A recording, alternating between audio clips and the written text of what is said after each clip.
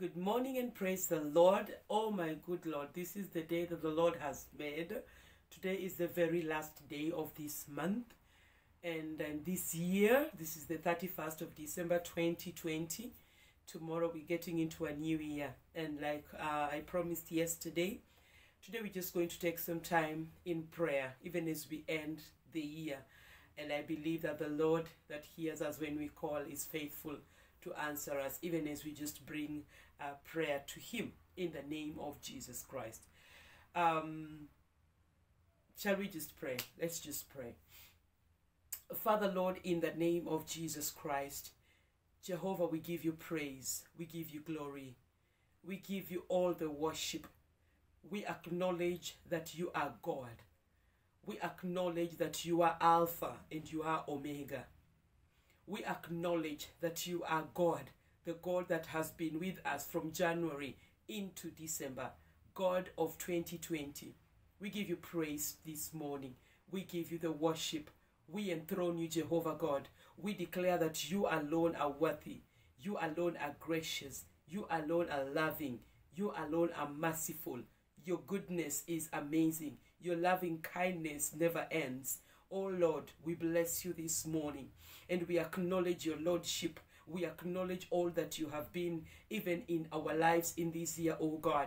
We have walked the journey in thanking you, just acknowledging you in different areas of our lives.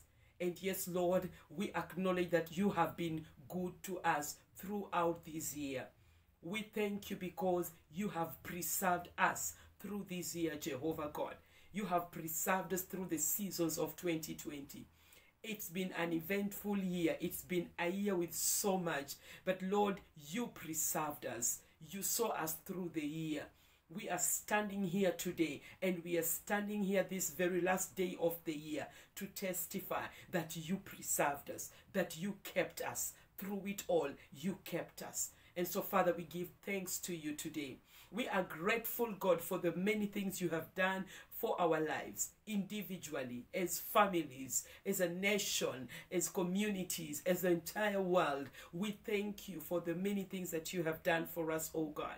Things that we have prayed for, some we have not prayed for. You have extended your grace to us. You have extended mercy to us, oh God. You have not let our enemies consume us, Jehovah God, because many a times so much rose against us, but you did not allow it to sweep us, oh God. You are the God of the storm that has calmed the storm even through the seasons, oh God, in the name of Jesus Christ. And so we thank you for fighting our battles. We thank you for providing for us. We thank you for healing us. We thank you for setting us free. We thank you, Lord, for sustaining us. We thank you for comforting us. We thank you, Lord, for the many things you have done us, for strengthening us, oh God. We have gone through so much, but we are standing here as testimonies that the Lord God, He walked with us, that Jehovah God, you were there with us. You were there all the time. You are there all the way, Lord that through the mountains, through the valleys, oh God, the mountains that we climb and the valleys that we went through,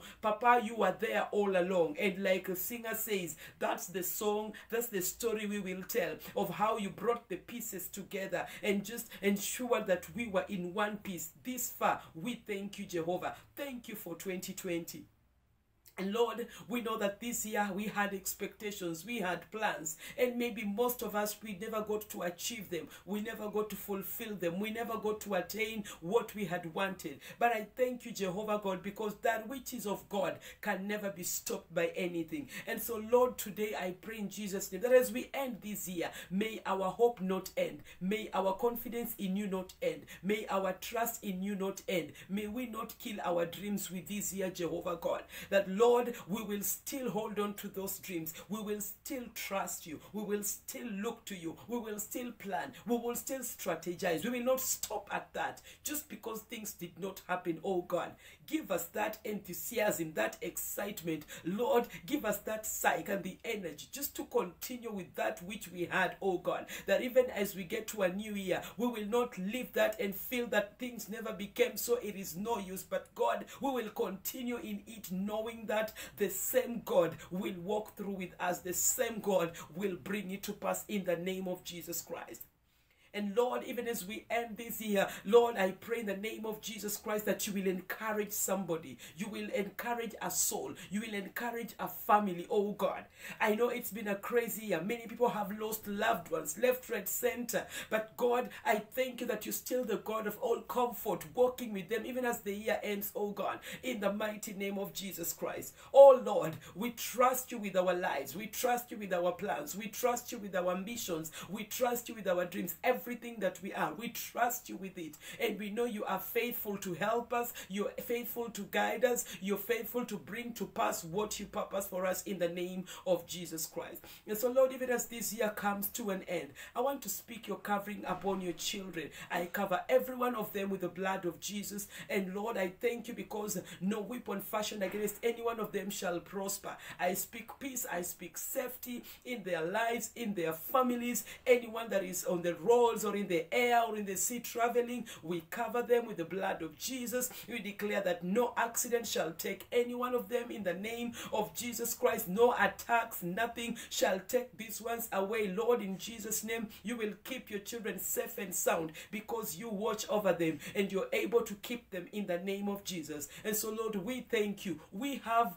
come with a heart of thank you with a gratitude filled heart grateful for who you are, for all you have done, for all you are doing, and for all that you will do. We look to you, Lord, even as we end this year. We know you are the same beginning to the end. You are the same Alpha and Omega. You are the same God yesterday, today, and forever. Lord, at the end of the day, one thing that we are confident of, that you've loved us with an everlasting love, and you have drawn us to yourself with your loving kindness. That is our confidence. And so, Papa, Papa, we thank you and we bless you in the name of Jesus Christ. Receive all the glory and the worship in Jesus' name. Amen and amen. Allow me finish with this. We were singing this song on Sunday in church, and it's it's it's been an it's been in my spirit all through this week or rather these days, the last days of this month.